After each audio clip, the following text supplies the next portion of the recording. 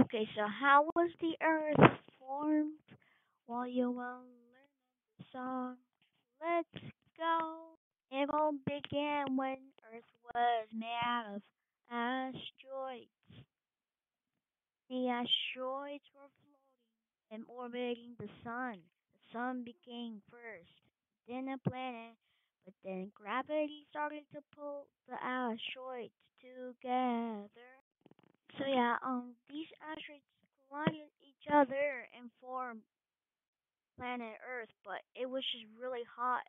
It was over 2,000 degrees. Yeah, it's pretty hot.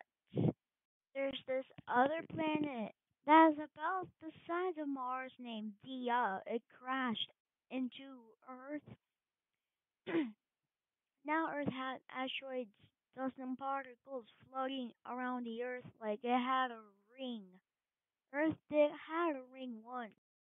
So yeah, all the dust and particles form the moon, and then they always show the same sign since the rotation started slowing down on the moon. That means it's tidally locked to the Earth. Yeah.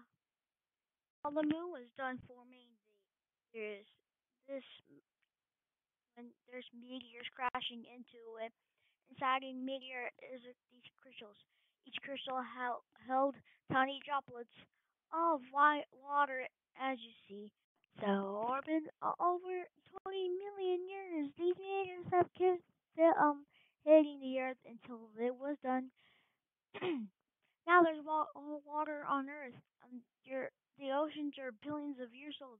You can see now how the land formed. So it also be- it started with Pangea, then the seven continents.